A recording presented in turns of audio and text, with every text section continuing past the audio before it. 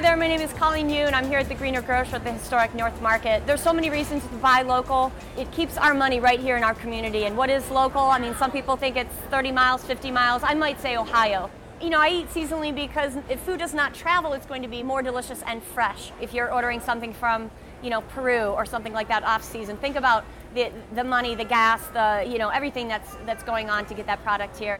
We buy from probably about 25 to 30 farmers and artisans. Artisans, I mean small producers of honey, syrup, grains. It's keeping your money in your food system. You are supporting local farmers that don't get those commodity crops such as corn and so many different grains are um, supported by government subsidies. Well, our small farmers do not get that help cheap food has so many hidden costs. What farmers are paid, how they're treated, how the labor is treated. When you know your farmers, you know someplace like the Greener Grocer where you can trust us to know the farmer, that money goes directly to them and we support them. And I always like to say, vote with your fork, vote with your dollar.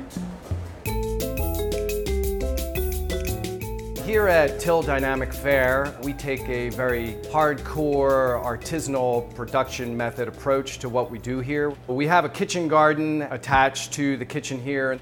During um, a lot of precipitation and moist weather, we get some nice shiitake mushrooms. Shiitake uh, is a word in Japanese that references the kind of wood that the mushroom grows on. What we're making right now is a shiitake tartare. So it's a raw food preparation. It's really vibrant. It really showcases the buttery and woody flavors of the shiitake mushroom. So we're going to start with the cashews and we're going to grind these up really well and thoroughly to release the oils.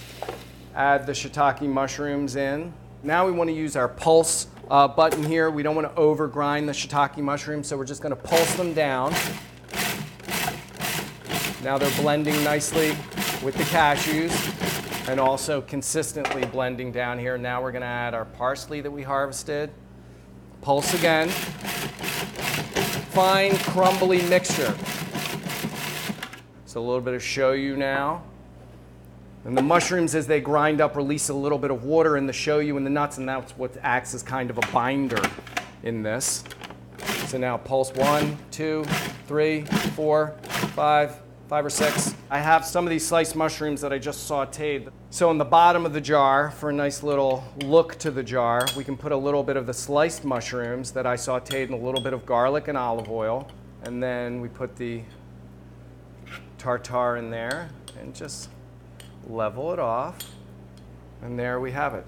Beautiful shiitake nut tartare. So the reason I love this dish is because there's a lot of ways to interface with a lot of different kind of condiments and other foods. The way I like to do it is with some fresh crusty baguette, apple chutney, olive tapenade, and uh, if you'd like the addition of bone marrow is very exotic.